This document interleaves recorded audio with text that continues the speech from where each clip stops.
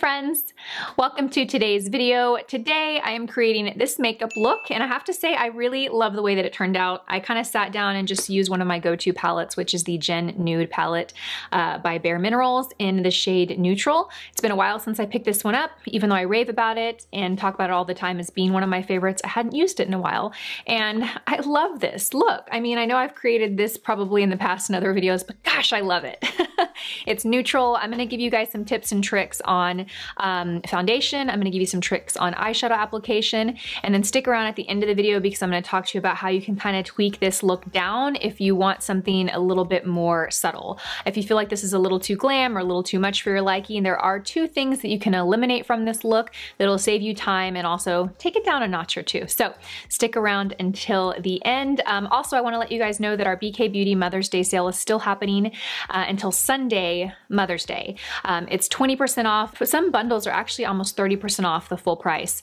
Uh, we've never had a sale like this before. I'll have all the information down below. We are currently sold out of the 101 brush, and I talk a little bit about in the video, but um, we have decided to go ahead and honor that 20% off for anybody that wants to order the 101. Basically, we have a waiting list uh, that you can sign up for on the 101 product page on the website. So you sign up for that waiting list. As long as you're signed up for that waiting list before the end of the promotion on Sunday, when we do restock that brush, which will be June, you will get an email with a one-time code that you can use on any item on the website um, that includes the 101, okay? So um, I know that's a lot of information. More details will be in the description box, but we wanted to offer that 20% um, to you guys uh, even later if we, since we don't have the 101 in stock. Enough rambling, let's go ahead and get started with the tutorial.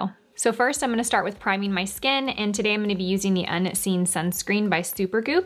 Um, I'm using this because I am gonna be outside today and this does have an SPF of 40 and since I just did that VI peel last week, I, I mean I always protect my skin obviously when I go out in the sun but I'm like really conscious of it now, making sure I'm putting on SPF, primers with SPF, foundation with SPF, anything I can do just to make sure I am fully covered. This also um, works as like a, a, pore blur, so it is gonna make the skin look a little bit smoother, prime your skin for makeup, keep your makeup on all day. It's got a lot of great benefits to it. Okay. So I'm gonna go ahead and apply my foundation first, and then I'm gonna go in with concealer this time. The foundation I'm using today is the L'Oreal um, Fresh Wear foundation and this has an SPF of 25. I really like this foundation. I talk about it pretty often. It's a great, great foundation period. Um, also, obviously it's drugstore, so it's great that the price is so nice. Um, I'm the shade, what shade am I? I say this every time, and it's 460. I'm the shade 460 in this, but it's very lightweight. It doesn't feel heavy on the skin. Um, it gives pretty good coverage without being like full heavy coverage and it has a really natural, healthy looking finish. Okay, just looks so pretty and light. So when I apply foundation, my technique is really to always start in the center of the face. If you think about it, the first place that you put your brush is where you're going to get the most product applied, right? Because you go in from your brush and you go immediately to that area. I want most of my product here in the center of the face because that's where I have the most discoloration or blemishes, sunspots. That's where the sun hits my face, so I tend to have more sunspots, dark pigmentation, all of that. And I need more coverage there. And then I will kind of press this way to get the most coverage and then I will kind of blend and buff out in little circular motions as I get to the perimeter of the face. That's my technique for foundation. Understanding that pressing, whether it is with a foundation, a concealer, um, or with an eyeshadow, uh, pressing is going to get more product applied, where buffing and using motions like this, kind of swiping the face, is gonna blend and sheer product out. So if I wanted to get a more sheer application from this, I would probably just start right in by swiping, if that makes sense. Look at that, such pretty nice even coverage. And I still have a little bit left. Normally I wouldn't say like, oh, you have to use everything you, you know, use pump out, but because this foundation is so light and buildable, I'm gonna go ahead and just take what I have and kind of press it into the center of the face, maybe around the nose a little bit. Oh, this is such a great foundation, you guys.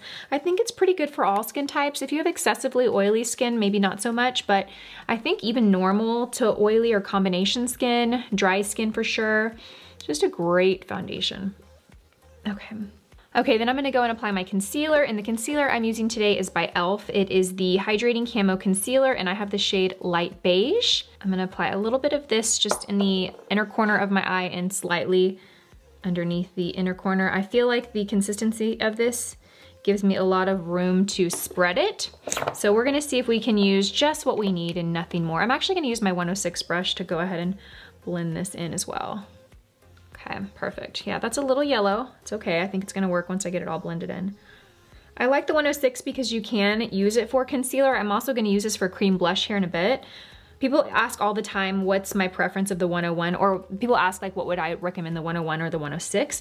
And I always say it's really a matter of preference because they're so different. The 101 is larger in size, so it's gonna cover more space quickly. So if you are someone that likes to apply your foundation really quickly or you don't have a lot of time, um, that's a great option. If you like to buff and work in circular motions, um, the 106 for sure, because of the shape of it and the size of it, it's just the perfect brush for that.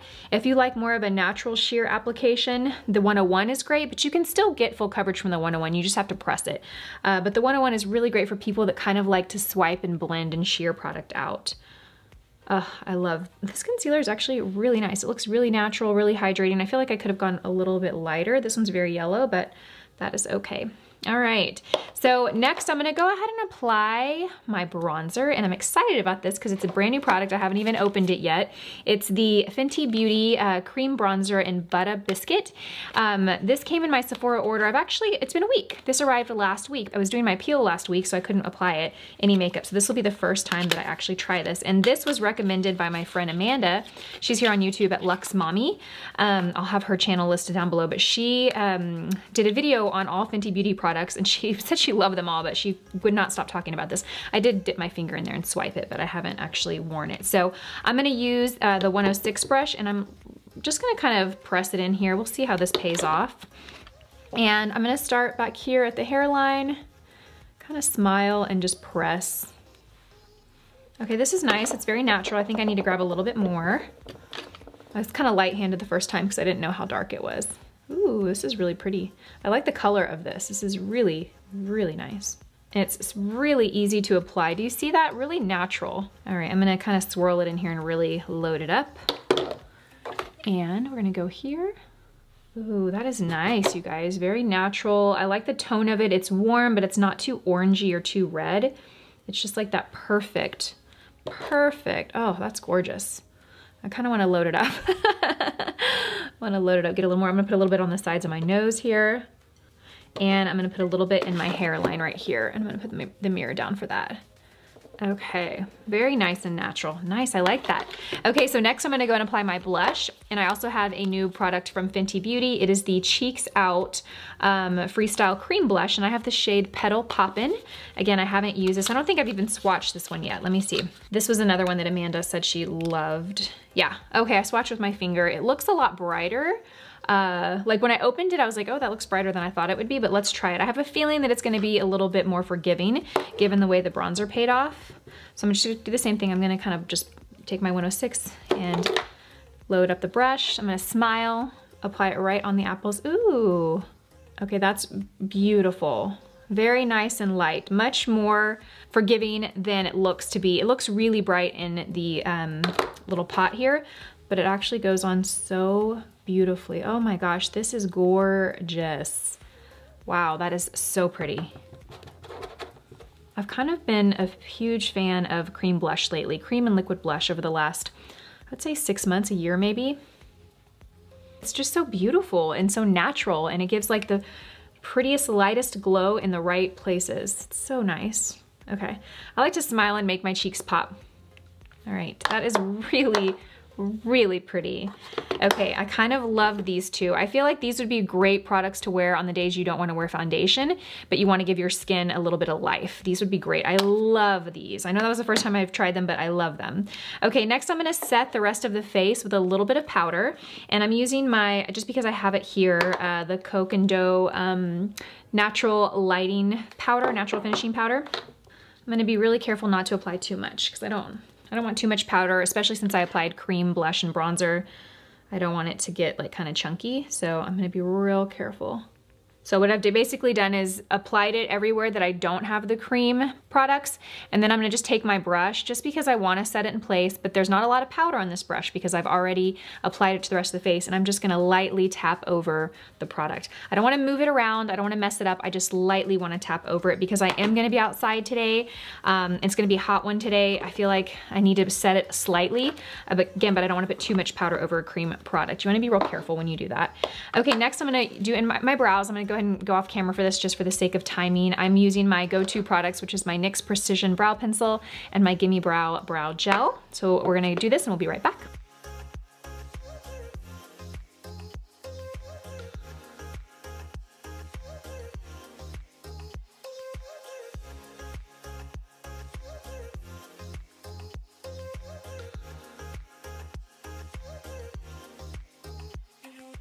Next, we're gonna go into eyes and I'm gonna use the Bare uh, Minerals Gen Nude Palette. This is the uh, neutral shade. It actually looks kind of rosy, but it's not the rose one. I think they have one called Rose and that one's definitely leans more pink, but you can see that these shades definitely have a little bit of a rosy um, tint to them. Uh, okay, so first what I'm gonna do is I'm going to apply the base color kind of all over and I'm just using my BK Beauty 201 brush. Uh, we are currently having our first ever sale actually on BK Beauty brushes for Mother's Day. It actually ends on Mother's Day. Um, a couple of things to know about the sale. We did end up selling out of the 101 foundation brush. Um, I think it was on Sunday or Monday. Anyway, we're sold out of it currently. Um, however, we have a waiting list. If you actually go to the 101 um, product page, the individual product page, there is a little pop-up that will say you can join the waiting list. If you join that list by um, the last day of the promotion on Sunday, 510, then um, you, when we get the foundation brush restocked, which will be in June, you'll get an email and you'll get a special one-time promo code for 20% off anything on the website that includes the 101 foundation brush. So it can either be just the 101 or it could be the full collection with the 101 or it could be the face collection with the 101. So basically you know, for those of you that want to order something right now that has the 101 and we don't have it in stock, um, but you want to take advantage of the sale, we're going to give you guys a one-time code when we get, get that restocked. But the only caveat is that you have to be signed up for the waiting list and you have to sign up for it by the end of the sale on May 10th. So if you sign up after that, you're not going to get that 20%. So you want to make sure you do that during the sale. Um, okay, then next I'm going to go in with this shade right here. It's called Native and we are gonna apply that in the crease. And for that, I'm gonna use the um, 202 brush, which is our powder, or sorry, it's our crease brush, but it's a bit more tapered than the 201. And I'm gonna take a little bit of this color on the tip. I'm gonna actually create more of a rounded eye today. So I'm just gonna go kind of back and forth, but I'm really gonna create this rounded shape. If you are trying to kind of tweak the eye shape a bit, this step right here is where you start. So you wanna start with your transition shade.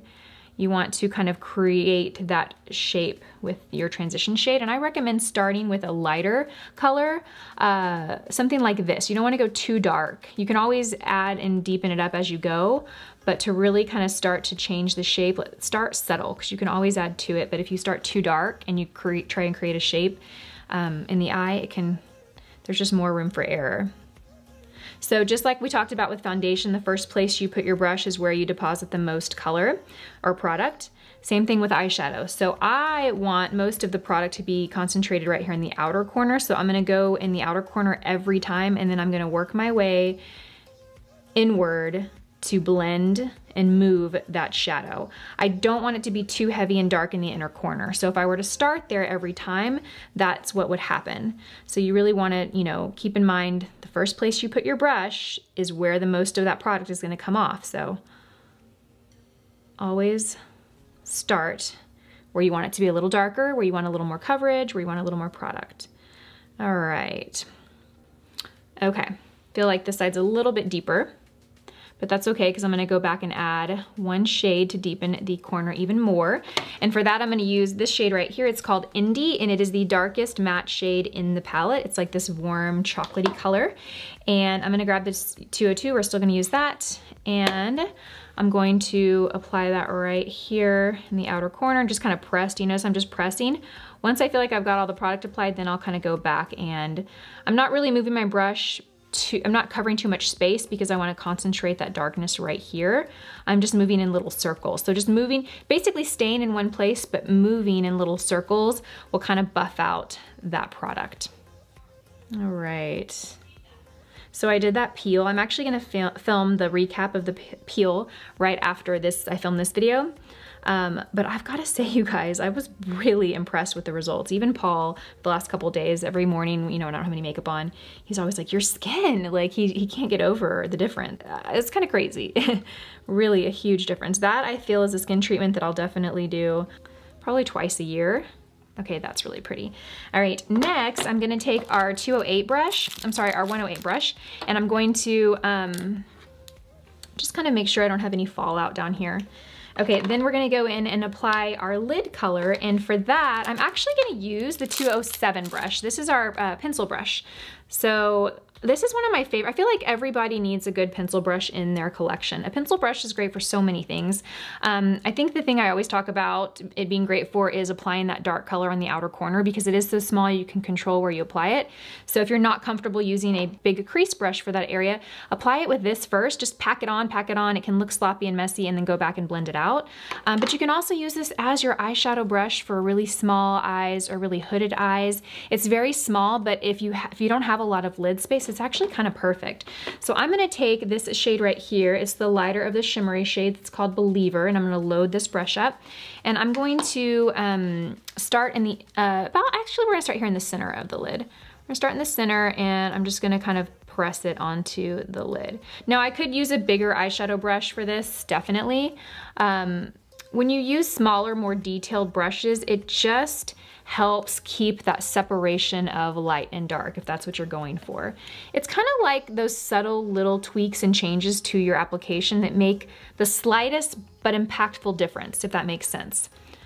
It's just like the, the little tiny details that really make a difference. Okay, so do you see that? Oh, I love this color, it's so pretty. So I'm just packing that right on. So I've ended up taking that all over to the inner corner but I'm pretty much stopping right there. So what I like about this brush versus like a basic eyeshadow brush, its size is smaller, so it really allows you to concentrate that eyeshadow exactly where you want it. Do you ever notice when you use like a dark matte shadow like I did here and then you use something light and shimmery after? Sometimes you get the colors muddied together and you lose that depth uh, and that effect of that dark matte shadow because now you have something light and reflective on top of it. So you lose some of that dimension, right, and that shape uh, because light or shimmer reflects light and matte recedes light. So by using a brush like this and really concentrating it right where you want it, you don't have to later go back and add darkness to like fix anything. Does that make sense? All right, perfect, perfect, perfect. I love this palette. It's just one of my favorites. I haven't used it in a while, um, but every time I go to it, I'm like, gosh, it's just such a great palette. And I'm taking my time more with this look. This is such an easy everyday palette. I mean, you could literally do your make your eye makeup in a couple of minutes with this, but I'm having fun. I wanna take the time. Um, and I'm actually gonna take that same shade and I'm gonna bring it right down here in the inner corner a little bit. It's pretty pink, so I don't wanna build it too much because I wanna keep it light. Okay, then next I'm gonna go in and we are gonna create kind of like a smoky lower lash line. And for that, I'm actually gonna use the same brush because I realized I don't have our 204 brush. Our 204 brush um, is a little tighter, so you get a little bit more compact eyeliner. Um, but I'm gonna start with the shade here. This is the shade we did in the crease. I'm gonna start with that and then I'm gonna go back and add um, the darker one too. But I wanna start with something light. So I'm just gonna kind of smoke out that lower lash line. So pretty. I'm really loving my makeup. I haven't done my makeup like this in a good week. When I did that peel, I was able to do my makeup the very next day. That's actually when I filmed my favorites video. Um, but then come Tuesday, which was the next day, it was, my skin was peeling. It was peeling for a few days. So I didn't put any makeup on all week. All right, so kind of smoked that out. And then next what I'm gonna do is I'm gonna take the darkest um, shade and I'm gonna go in with the um, 208 brush, which is our tiny little wing liner brush.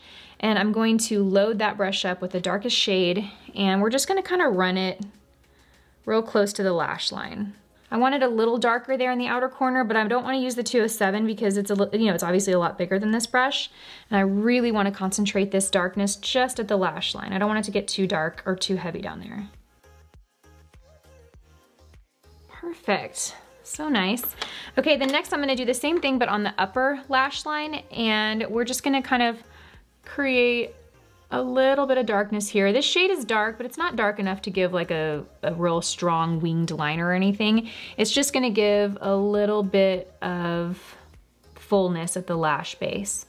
Um, I'm gonna put on false lashes, so I'm kind of just doing this so that it kind of conceals the lash band once I glue it. I find that when you have some sort of eyeliner on, false lash strips just look and blend a little better. It's a little more obvious when you don't have anything down there. So we are into May. Today's actually Cinco de Mayo. It's May 5th. And I have to say, you guys, I'm feeling good. I feel like, I feel like I have processed a lot, like all of us have since this all started but my spirits are really, really good right now. Um, so that's good. Next, I'm gonna apply my lashes. I'm gonna go ahead and do this off camera or maybe speed through this um, just for time's sake because this will take like five minutes of the video. So uh, just to let you guys know, the uh, lashes that I'm using are the Ardell um, Wispies. These were featured in my favorites video. I love these lashes. Anytime that I don't have lash extensions, these are my go-to lashes. So I'm gonna go ahead and apply these. And I, and I get a good, probably four uses out of each pair. So, you know, it's great. I've tried buying really expensive lashes. Um, and they're some of them are great, but I just find that this is such a great style for my eye shape. And I think this pack of five is like 12 bucks. So I'm like, why not? All right, I'm gonna put these on and I'll be right back. All right, we are back. I have to say, I love these lashes. They are just, they just make the whole look. I love it. Um, okay, so next I'm gonna apply my lipstick. I'm gonna skip lip liner today just because I don't have a good one in front of me. I'm using uh, Sonic Truth by Marc Jacobs. I really love this lipstick. It's um, a really good kind of true, like pinky rosy nude. It's so pretty, highly pigmented, has a nice texture to it. I feel like you only really need one swipe maybe two. um, it's just really, really nice. It kind of gives you that muted lip, but with some color. So it gives you that muted lip without looking like totally washed out. I'm gonna top a little bit of gloss on top and I'm using the um, Chanel uh, Rouge Coco Gloss in 722 is the number. This is such a nice gloss. I think this might be the only Chanel gloss I've owned before, and I love it. I love the um, formula. I love the wand too. It's like flexible, but it's firm. It's hard to explain. It's really, really nice. And this is the finished look, you guys. I really love the way that it turned out. It's glam, it's neutral, it's wearable. Um, I feel like if you took off the lashes and just did mascara, it would take it down quite a bit.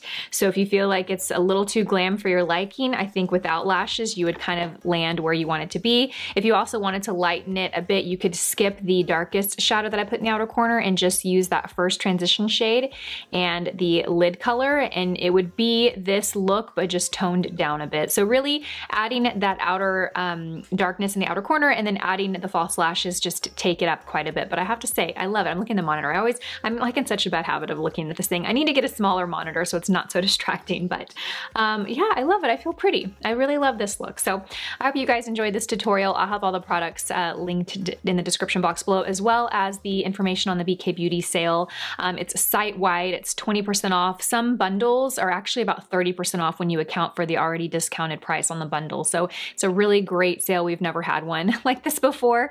Um, and it goes until Sunday, um, Mother's Day. Obviously, we can't guarantee it'll ship to you by Mother's Day if you order it on Sunday or Saturday, but uh, if you want to take advantage of the, the sale, all the information will be down below. Thank you guys so much for watching this video. I hope you guys have a fantastic day, and I will see you all in my next one. Bye, guys.